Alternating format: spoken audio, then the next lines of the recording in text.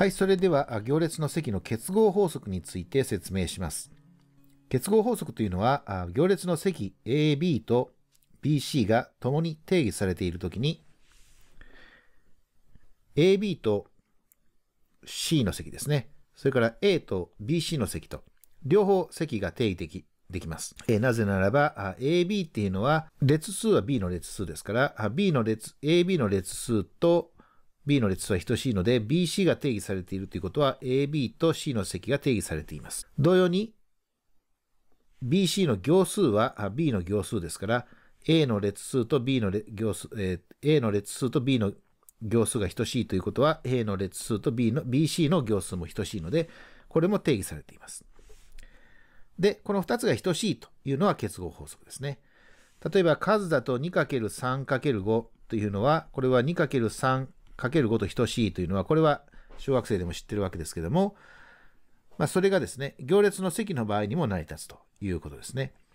まあ、これを、このようなま法則、成り立つという性質を結合法則、アソシアティブローというふうに言います。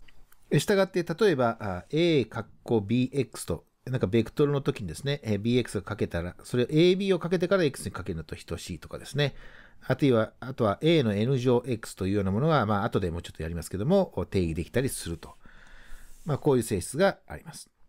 で、とにかく結合法則が成り立たない世界っていうのはとても異常な世界なので、まあ、あの、まあ、数学の世界ではあるんですけども、そういう世界もあるんですけども、まあ、線形代数とか行列のようなものでは、結合法則はちゃんと成り立ちますよということですね。では少し例を見てみましょう。えー A をですね、2次の正方行列、B を2次の正方行列、C も全部2次の正方行列としましょう。で、えー A, B, C, D, P, Q, R, S, X, Y, Z, W というふうに置きます。そうすると AB はこのようになります。まあ、全部2次の正方行列ですけども、例えば11成分は AB と PR の積で AP 足す BR と。えー21成分は CD と PR の積で CP 足す DR と。で、従って AB×C は何かというと、この AB に C をかけるわけですから、これとこれ、これとこれ、これとこれ、これとこれというような感じで、成り立つことになります。これはまあ、で計算されることになります。そうすると、このようになりますけども、このような式になりますが、えー一方ですね、ちょっとこれ展開すると場所がなくなってしまうので、このままにしておきますが、BC の方を計算すると、同じようにこういうふうになりますと。で、これで A をかけると、A、AB かけるこれ、CD かけるこれというふうな感じで、こういうふうになります。で、この2つですね、これが等しいかどうかをちょっと、えー検証してみましょう。えー11成分を見てみると、11成分は APX、APX ありますね。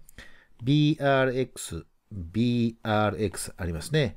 えー AQZ、AQZ ありますね。えー BSZ、BSZ ありますね。ということで、えー全部バラすと4つの項が全部一致して、えー11成分は等しいということがわかります。まあ、他の項も全部等しいことがわかりますので、えーこれは、少なくとも2次の正方行列の積の、えー世界では、えーちゃんと結合法則が成り立っていることがわかります。まあ、もちろん一般には成り立ちますけど、これについては後でちょっと補足します。はい。ということで、こういう、結合法則が成り立ちますので、えー正方行列の N 乗というのは、まあ、後でこう定義できるわけですね。はい。まあ、それについては次の例題で、えーちょっと考えてみましょう。はい。え結合法則の例題としてですね、えー A の N 個の積というのを考えてみます。例えば A の3乗っていうのは、2乗はまあ A かける A なんですけども、A の3乗っていうのは、A かける AA なのか、AA×A なのかによって2通りあります。まあ、結合法則のおかげでどちらも等しいわけですけれども、A の4乗だと、A かける AA かける A とか、AA×A をかけたものにさらに A をかけるなど、えいくつかあるわけですね。はい。さあ、A の5乗は全部で何通りありますかということですね。これをちょっと考えてみてください。一応 A の4乗だと、A、A の A の3乗かける A というのもあるんですけど、AA3 乗ですね。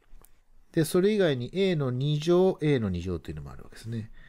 まあ、A の2乗は一通りしかないので、これはまあ、AA、AA ですけども、こいつは A の3乗がこの2通りありましたから、これで、それだけでこう2通りあるわけですね。これも2通りあります。で、これ2通り、えー、1通りですね。ということで、A の4乗は5通りですね。はい、4乗ね。はい。A の5乗は何通りありますかと。はい。ちょっと考えてみてください。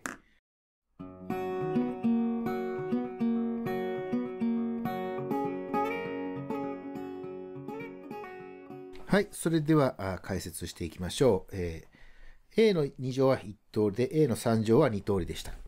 で、A の4乗は、先ほどもちょっと書きましたように、えー、A の3乗かける A、あるいは A かける A の3乗と考えると、A の3乗が2通りありますから、それぞれ2通りずつ出てきます。それで4通りです。で、さらに A の2乗2つというふうに考えることによって、えー、A の2乗は1通りですから、1通りあるわけですね。はい。ということで全部で5通りになります。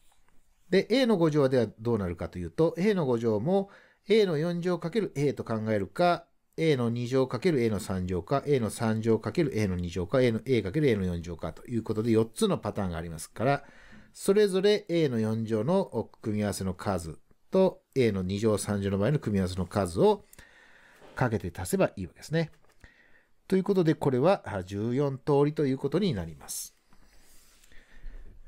まあ、A の1乗はもちろん1通りなので、え、A の N 乗の場合の計算の仕方の数を CN とすると、この CN っていうのは、1125144232というふうになってきます。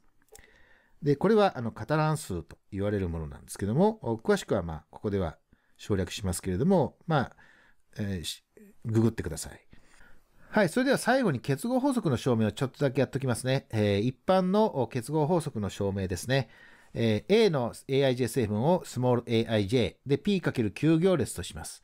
B を bij、9×r 行列、C を cij、r×s 行列としておきます。そうすると、括弧 AB×C の ij 成分はどうなるかというと、AB の IL 成分と C の LJ 成分を L イコール1から R かけて L イコール1から R まで足したものというふうに書くことができます。はい。まあ、行列の積においてですね、えっ、ー、と、行と列とやったわけですけども、これをシグマ記号で書くと、まあ、こういう形になるわけですね。はい。で、この AB の IL 成分をさらにシグマ記号で書き直すと、こういうふうになります。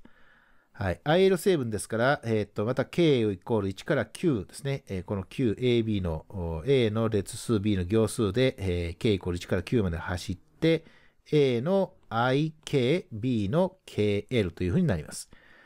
はい。ということで、この、まあ、二重相似といいますか、えー、L と K が1から、えー、R と Q というふうに走って、えーまあ、要するに AIK、BK、L、CLJ というこういう3つかけたものがですね、全部で QR 個全部足し合わせると。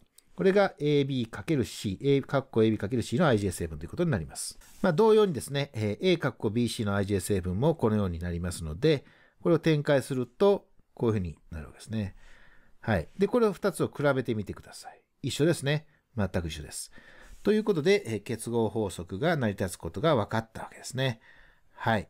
まあ、つまり、まあ、あの、数の分配法則とかで展開して、全部展開したら、まあ、全部同じ項がえー、全部コース QR 個の同じものが出てくると、こういうことになるわけですね。